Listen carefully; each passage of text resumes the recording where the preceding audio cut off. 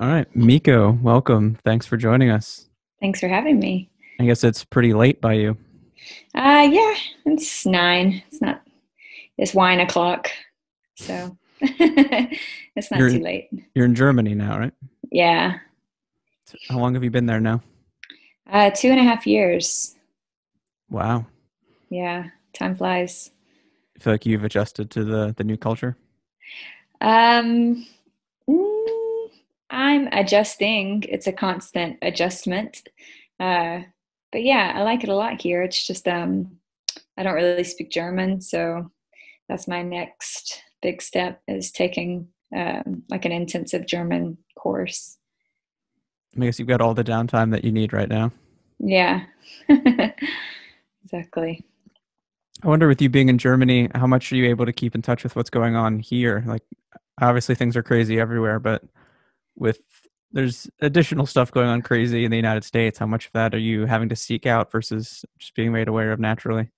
Um well, I I wake up every morning and I try to go as long as I can without checking the news or Twitter. Um, and I usually make it about 20 minutes because I want to see what's happened while I was sleeping. And um, yeah, I I notice that when I don't read the news, then I'm a happier person in the day. But it's like this weird addiction where I need to know what's going on. I feel more patriotic than I have ever felt by not living in America. So I feel more um, connected to what's actually going on than I than I ever have. And um, and yeah, a lot of people ask me when I'm out and about, like, where are you from? If I say America, then they go on this like long list of questions or this tangent about how they really feel about things, people. And so now I I just say I'm Canadian. and yeah, so like for me personally, I deleted Facebook. I kept Instagram, but and I never had a I had a Twitter briefly, but not for very long. I feel like it just sort of creates a negative headspace to be in when everything's constantly so negative. I know. I try to follow like happy things. Like there's this Twitter called Quite Interesting, and they just post random fun facts. And I'm like, ah, you know, shitty news, shitty news, shitty news. Oh, funny fact about snails. Um, so I think if I just balance it out and have more like silly, happy-go-lucky things, then that would be better for my head. Or maybe just you know cut it all out. I did try that for for two weeks, and um, it did feel I did feel a lot better. Well, I mean, it's built. It's literally built to reward things that upset you because you interact more naturally with things that upset you than you do with things that make you happy. So Yeah. then, the more that you're commenting on stuff you don't like, the more it feeds you those things to where it becomes a self-perpetuating negative mill of nonsense. Yeah, that's true. I was talking to um, this guy who told me that um, that I should not that I should be careful about the attention. I mean, whatever. And he, he was just a stranger, basically. And I got into this conversation with him. Same thing about how the news upsets me, but I can't stop giving it my attention.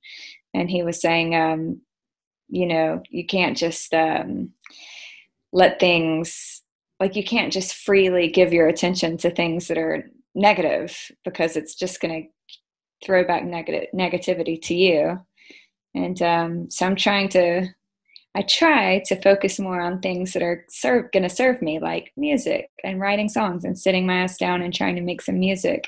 Um, but maybe i could do that after november 3rd Well, I mean, I don't know about you, but for us, so much of our advertising is done via social media. So even though a lot of my, I don't have personal accounts anymore, I'm still spending a decent chunk of my day on Facebook, Instagram, Twitter to try to promote things. And you can't Yeah. help but see all the vitriol that comes out on things.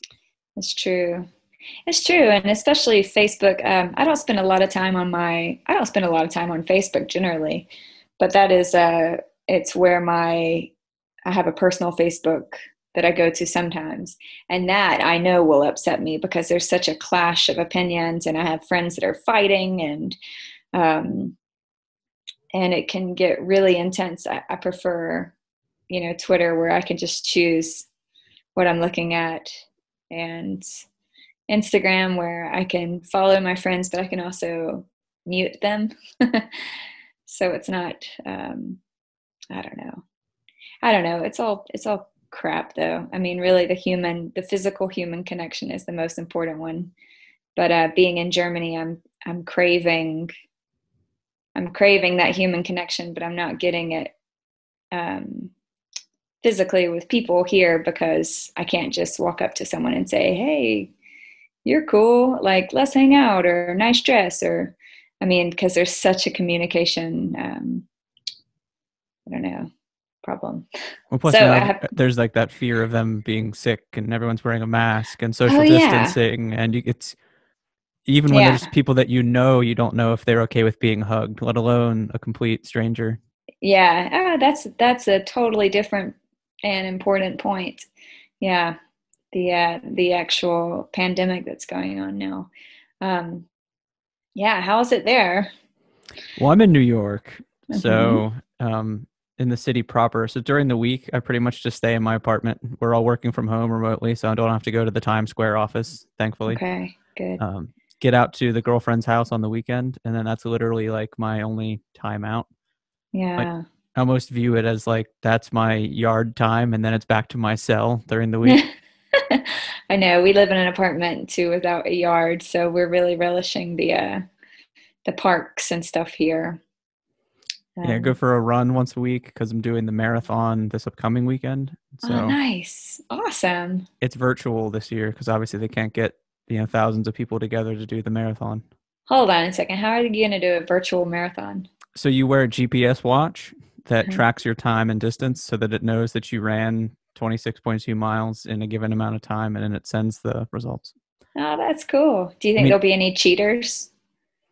I mean, maybe, but at the same time, I don't think there's really a winner this year because also you're not running on the same course. So my yeah. 26 miles isn't the same as your 26 miles. Yeah, yeah, yeah. Different times a day, different weather, different terrain. It's more about just that you did it, which I did last year. I did another one, but I, yeah. I, did it in such poor conditions weather-wise that I wanted to see what I could do under normal conditions, and then and then life threw me not normal nice. conditions this year either.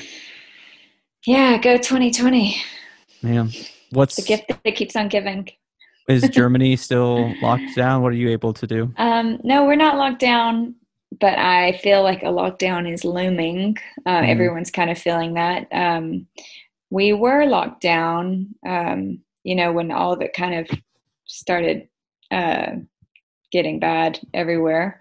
Um, but then they eased it, and um, now I think I think that they're going to start imposing a, um, a, no more than six people at a time rule. Uh, but yeah, all the shows are canceled. All the all the you know main big, of course, like group gatherings are canceled. And I was really looking forward to seeing Alanis Morissette this month or uh, yeah, it's this month, but um, that's been canceled. And yeah, whatever. That's a small, small problem to have, I guess. But uh, yeah, so a new way of life. Have you kept it all in touch or aware of how Hotel Cafe is doing out in LA? I am keeping in touch with a few people, and I guess uh, they're doing some virtual shows from there.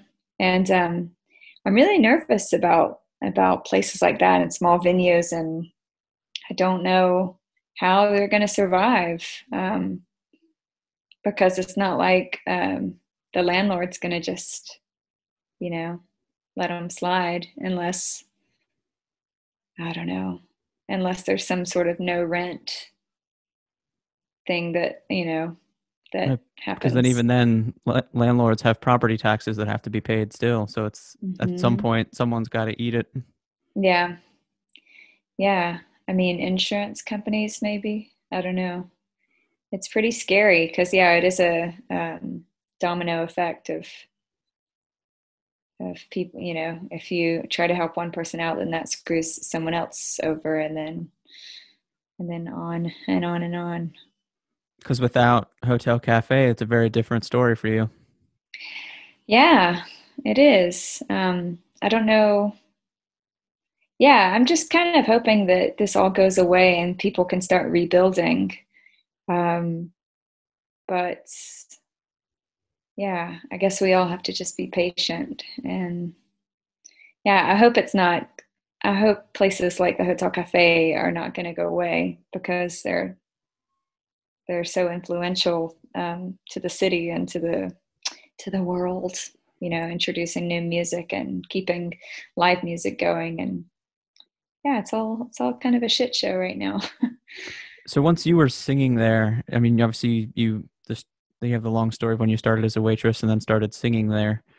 How did how did that next step come into where MySpace comes into the picture? Um, yeah, I was singing there and I was waiting tables and I was recording uh, my album at night after work. And um, once I had this little EP done, I called it the Onion EP because it was layers, layers of emotions. uh, and it had five, it had like four out of five songs that ended up making my first record. Uh, just started passing it around to people. I gave it to a lot of uh, people I waited on. I was like, "Here's your bill and my CD," um, and uh, yeah, eventually I, I played I played a show, and more and more people started coming to my shows, which was really cool to see because I watched it go from you know five people in the audience to a sold out show, even being a waitress, and I was very proud of myself. Um, and one of the shows, uh, the woman who um, puts music in Grey's Anatomy, she was there, and she asked me after my show, like, "Oh, do you do you mind if I put that song "Reasons to Love You" in the third um, season premiere, and I was like, I would love if you did that. I would not mind at all. And so um, that was, I think that was my first break. And then when that aired, it was a few other things that really um, started happening. Perez Hilton posted about me. Um, and so that was a really big deal. And also, iTunes had put me on their front page. Um, it's like I don't know, single of the day or something, single of the week. And um, I felt I felt like my little waitress trajectory was kind of going somewhere and it was nice. and, then I started touring. And you've had a long history with Sync too. I think the first time that I became aware of you, you had a song, was it in a cat food commercial? Um, I did have a song in the cat food com- commercial. It was um, Fancy Feast, best cat food there is. was that stuck on you? Yeah, yeah, and that was a uh, yeah, that was really uh, it was really cool because it was a national commercial and my every time my dad would hear it he would call me and be like i i hear you again um and uh yeah good times and so after the MySpace project, you end up with Concord. How does that process yes. happen? Um, well, MySpace started um, to, well, they just closed down basically. They decided to shut down their record label um, portion. Uh, that was one of the first things to go.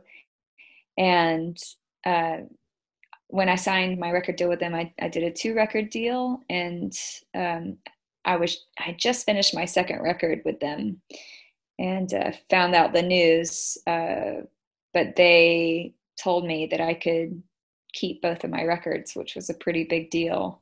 Um, that they they were just basically like, "Here you go. We're really sorry. Good luck." And so I have um, I owned my my two records, my first and second record. And second record I had just done, um, The Bright Side, and so I went to.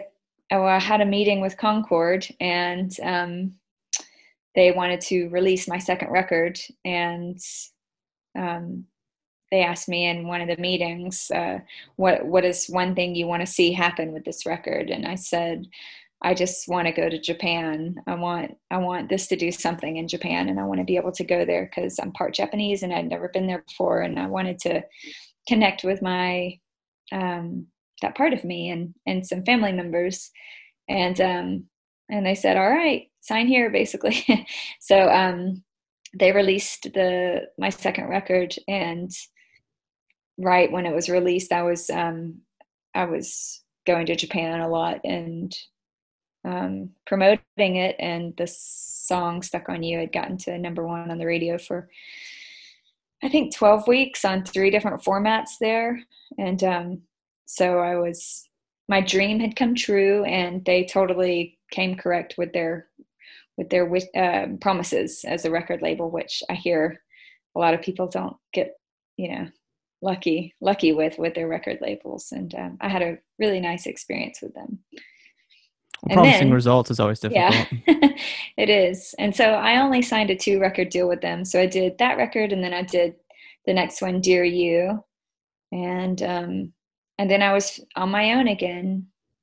And uh, that's when I just started releasing stuff independently because it's uh, a lot easier and it's it's harder because you don't have a lot of money to back it so you have to take your time and um, do things like uh, you know what is it? Well there's patreon but there was another one pledge music and um, gets fan support um, but there's something about releasing independent music that makes you feel like you're more part of it because you have you the only person you can answer to is yourself and if it doesn't do anything then you can think oh maybe i didn't do this right or maybe I'll, I'll fix this or I'll change this the next the next time I release something. I don't know. It feels more empowering, I think, in a way. Well, even for label releases, budgets aren't now what they once were. Everything that you spend needs to be a very concerted effort and planned decision. Because now yeah. people are streaming more, purchasing less. It becomes a different targeted approach on every record. And of course, now in the story, we come to the most important day of your musical career, which is when I come into your life. Yes. With playing favorites, this was your first break into doing covers as opposed to original material. Yeah. So, what was fun for you about that? Um, the most, I mean, that was one of the coolest things I had ever done. I have ever done. Um, I liked the idea of going through songs that I loved as a high schooler and picking my favorite ones and the ones that were the most influential to me and recording them. And I've never been really um, a cover song player.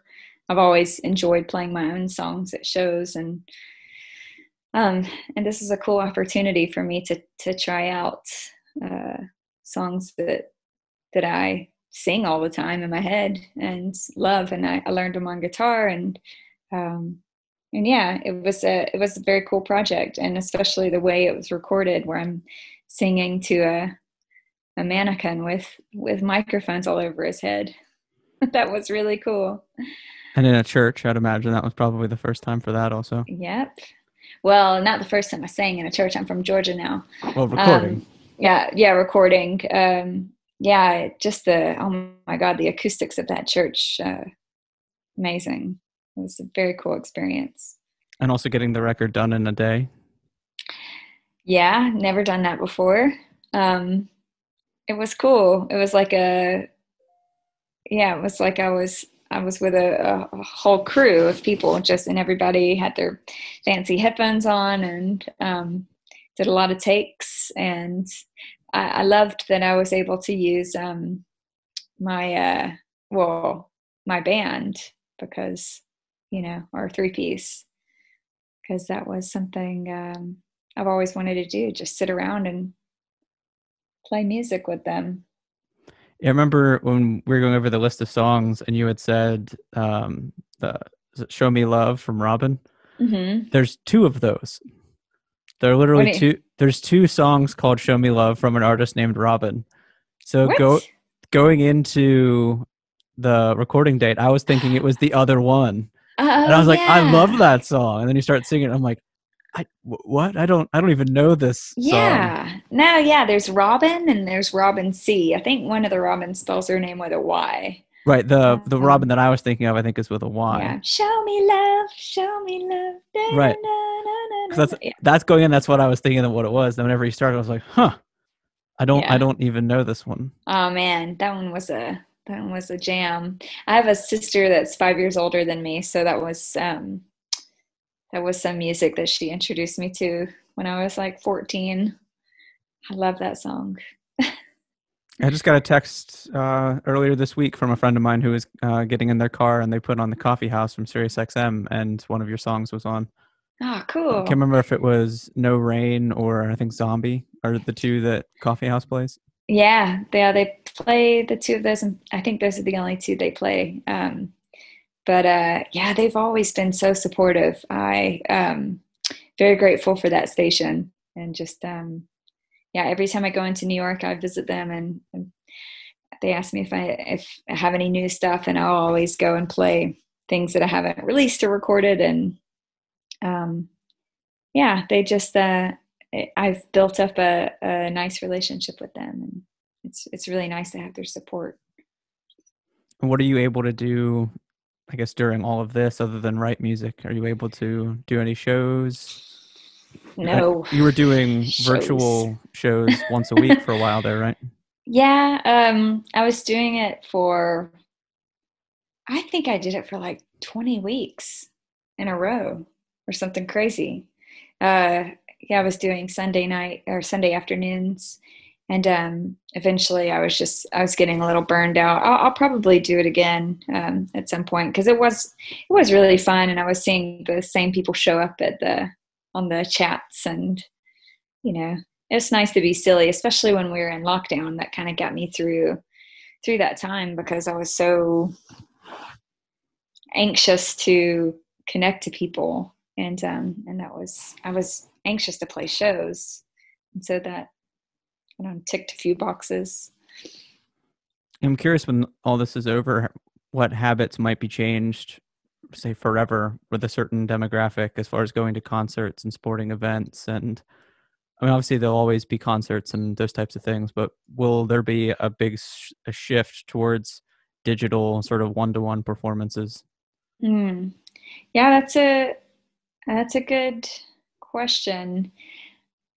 I don't know. It's hard for me to imagine that if there was no coronavirus, that uh, it would still people would still want to sit in front of their computers and watch shows. I think people are going to going to be really ready to see live music in person, and um, are really going to appreciate that whole scene more, and maybe even be more supportive and be more out there. Um, I can't imagine that after this, people, I mean, I don't know. I guess maybe people will be freaked out a little bit about crowds. I'm, I'm not going to be, I'm going to be listening to music and, you know, real music, um, live music. I'm going to definitely, when I can, I will. I'm also curious now. But I'm also curious if there's people who right now they're watching from like across the world who might not get a chance to see you otherwise that are now you're creating an additional marketplace of people who watching a ah. virtual show is something they had never really considered doing before. Now it's their only kind of show. Okay. So you're now opening up a whole new demographic of people who otherwise were just going to go watch other people in their town rather than okay. Well, now I can watch Meiko or the guy from my town. It's the same thing. Okay, yes. Um, that makes sense. Yeah, that was one thing that I did notice. Um, and the cool thing about virtual shows is that you're connecting in at one time with people from all over the world. Because as a independent artist when you're trying to tour it's like mm, where do i go where i have the most fans? Who who will buy the most tickets? Okay new york chicago los angeles san francisco. And you're only hitting the big the bigger cities but you can't really go to des moines. And even though you know there's a few fans there like Boise, Idaho, which I love Boise, but um, it's it's just not feasible to to make it to all these smaller places. So the cool thing about um, the online shows is that people from everywhere are able to join in and in the comfort of their own homes with no pants and uh, and watch and watch the shows. So I guess maybe there is a market for that. I don't know. But me as a music listener and lover, I'm very much looking forward to traveling and seeing shows and I don't know.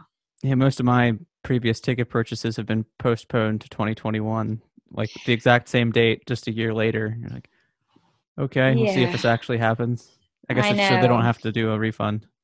Oh yeah, that's totally totally what it is. Um, I don't know. I guess it's it's wishful thinking. It's hopeful. I hope that 2021 is um, is better. They're talking about having a a vaccine that's going to be ready here in Germany in uh, the beginning of the year. So hopefully that goes well. And I don't know. Hopefully things just start chilling out a bit.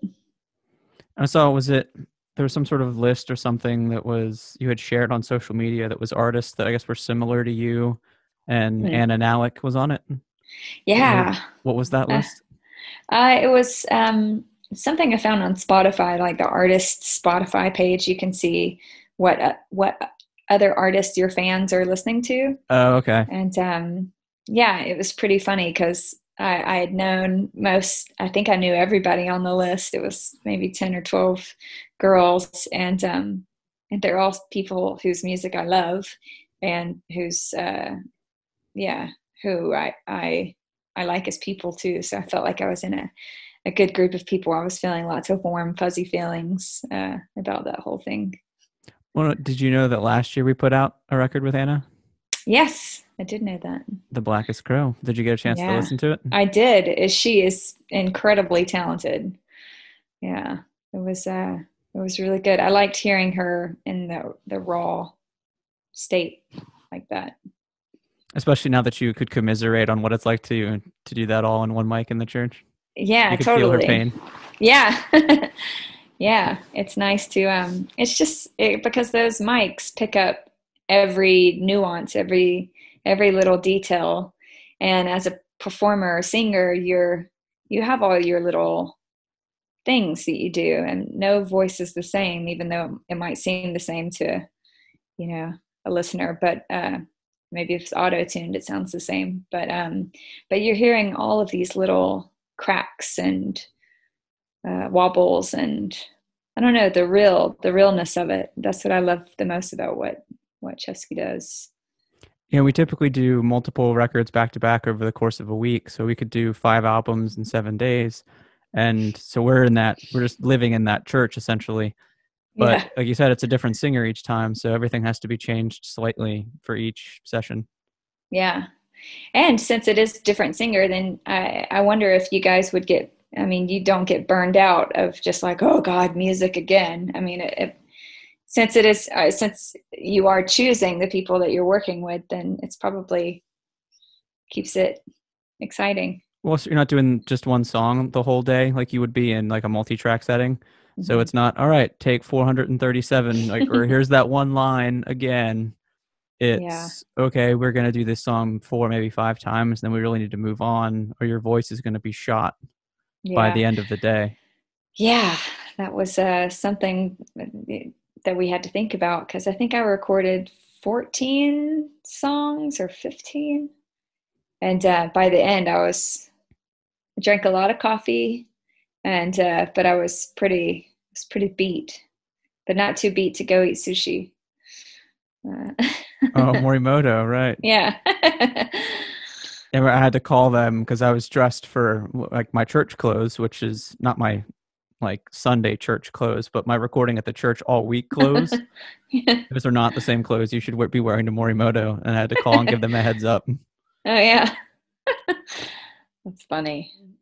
Since I have been, or since the quarantine happened, I kind of hunkered down in my little tiny studio. Uh, well, it's not really a studio. It's just a it's basically a closet with my computer and some headphones and a little uh, MIDI keyboard.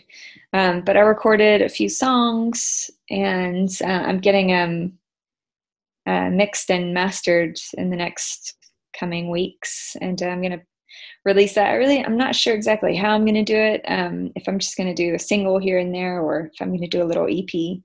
I thought about making an EP called um, the Apocalypse Sessions, but um, because they're all songs that I wrote when I thought shit was going down. Um, well, we do live in crazy times. Yeah. So, We just put out know. a single this last Friday um, called "Eve of Destruction." Ooh. Casey Abrams with Cyndi Lauper. Oh wow! Hey, that's cool. Did you ever hear the original? Uh, the Barry McGuire Eve of no. It's like it's during the Vietnam War. It's talking about all the chaotic things that were going on then. The lyrics have been updated for everything mm. that's going on in 2020. Crazy. Wasn't Barry McGuire a uh, baseball player? That is Mark McGwire. Oh. There's also Barry Bonds, so I think you, okay. you merged them. Oh, that's the baby that they had together. Um, the song's from the song was written by P.F. Sloan. Okay, I don't know the song, but uh, we'll check it out. It sounds interesting. But yes, I mean it is it is crazy times that we're living in. Yeah, yeah, but hopefully, um, hopefully this just teaches people uh, what really matters, which is family and friends and food. And um, I don't know. Uh, for me, I've I've learned to cook during all of this, and I've learned to enjoy cooking, and I've learned to appreciate things instead of needing to buy things all the time like take the things that i do have and rearrange them or um, repair them if they're broken or um, i don't know I, that's a very german german life it's like oh i'll just take this radio and i mean i didn't repair a radio but um, you know my whole thing was like darning socks i got into this deep hole of like why do people just throw away socks when they have hole deep hole. Why do people just throw away socks when they have holes? And um, so I like had all these socks that I was ready to throw away, and I just started sewing them up. And I'm like, they're brand new socks. They're perfectly awesome socks now. And, um, and then I got on my high horse, like I'm just gonna mend and repair everything in the house. I'm like going through my husband's stuff and my son's like jeans with the holes ripped out and I don't know. I just went on a sewing spree. So that was my exciting life during lockdown. When, every time I see a, a humorous shirt, I think of you. Thank you. Wait. Thanks for this shirt. You bought me this shirt. I really appreciate it. I thought From the meatball store. Yeah, it's um the meatball shop in New York City. they they have a number of products with just that as their slogan written on it. I love it. So cool. So I'm on Patreon, um, which people can um, sign up and listen to new demos, and I um, post random blog stuff, and I have, uh, yeah, I do stuff on there. Some really interactive things that I don't post on actual social media. Um, and then I have my Instagram, which is Meiko Music, um, my Twitter, which is Meiko. And yeah, that's all. I'm on, I'm everywhere. Just put put in Meiko. M E I K O. Mexico without the X and a K instead of the C. all right. Thank you for joining us.